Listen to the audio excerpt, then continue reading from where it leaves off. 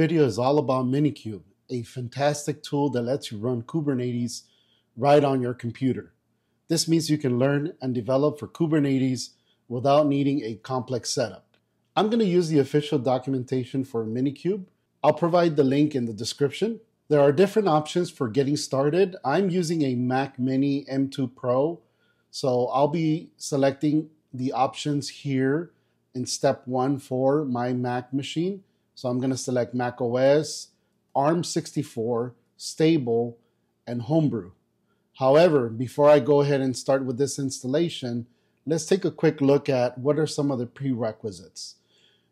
They recommend a machine that has two CPU cores or more, 2 gigs of free memory, and 20 gig of free storage, and an internet connection. Uh, they also recommend you have some kind of container or virtual machine manager, such as Docker, QEMU, HyperKit, KVM, Parallels, Podman, VirtualBox, or VMware. I'm going to be using Docker Desktop. If you're not using Docker, you can go ahead and skip my Docker setup. So here we are on the official Docker documentation on how to install Docker Desktop on a Mac.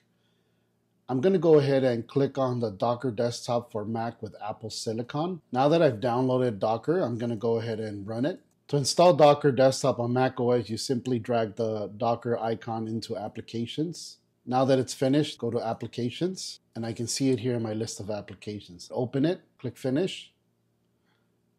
I'm going to enter my password.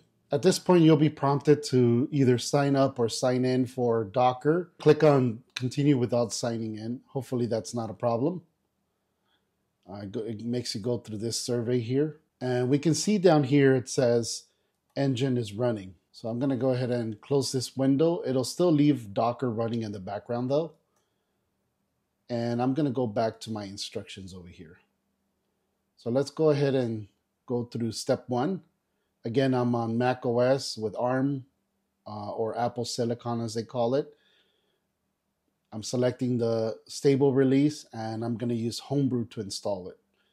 So line one here says brew install minikube. Now I can type it up or I can be lazy and just go ahead and copy and paste. Okay, looks like my installation is done. Uh, it does give you instructions in case you get a failure. Uh, I didn't get a failure in the install. So I'm gonna go ahead and skip to step two here. And it's, this is how to start your cluster. So I'm gonna go ahead and click copy, paste it over here, and run it. And what it's doing right now is it's downloading all the prerequisite images that are needed for this version of Minikube. And it's downloading all these images to my local machine so that it can then instantiate running containers that are needed to run uh, Minikube. And if you notice at the end here, it says done kubectl is now configured to use Minikube cluster and default namespaces by default. So let me clear my screen.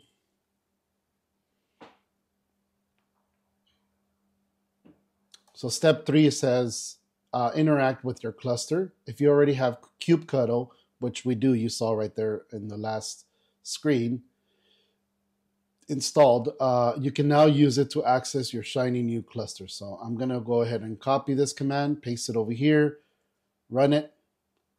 And here we can get a status of our, our running pods. So down here it says that initially some services such as storage provisioner may not yet be in a running state.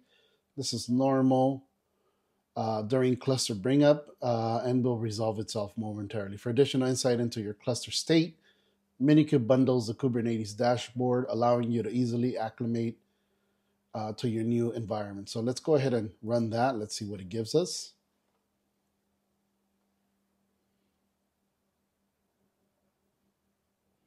And here we are. It opens up a page over here. And this is the dashboard that the documentation mentions. So the sections here are workloads, service, config and storage, cluster, custom resource definitions, settings. So let's go back to the instructions over here. Now we're on step four, deploy applications. It says here, create a sample deployment and expose it on port 8080. So we're gonna go ahead and copy these commands. Uh, let me close out of this uh, dashboard. So I'm gonna hit Control C.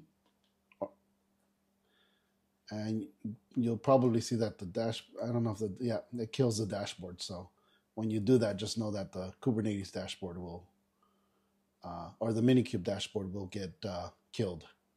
So let's go ahead and uh, once again go back over here, copy the command, paste it into our prompt. And it says here that uh, deployment.apps hello minikube created, service hello-minikube exposed. Uh, let's copy this it says it may take a moment, but your deployment will soon show up when you run kubectl get services hello minikube. So let's go ahead and copy that, paste it over here. And what do we get here? It says uh, name is hello minikube, type node port, cluster IP, external IP, and port 8080. And the age is 24 seconds. Okay, it says here the easiest way to access this service is to let Minikube launch a browser for you. Uh, and what it does is, is it runs the command Minikube service hello Minikube. So let's go ahead and copy that, paste it in here to our terminal, hit enter. And there is our sample application. It says opening service, default hello Minikube, and the default dashboard because you're using Docker driver on Darwin, the terminal needs to open needs to be open to run it. So here is that application. And you'll see here that it's saying it gives you the information on the application that's running. And then it says that it's starting a tunnel for starting a tunnel for service hello dash minikube So it's tunneling traffic uh, for the exposed port 50256 here and redirecting to the internal uh, running application. All right, let's go ahead and uh, control C out of this. So if I refresh over here, it's no longer available. All right, let's go to step five over here. It says manage your cluster. Pause Kubernetes without impacting deployed applications. So you can run Minikube uh, pause, and then you can unpause it. You can halt the cluster by typing in uh, Minikube stop.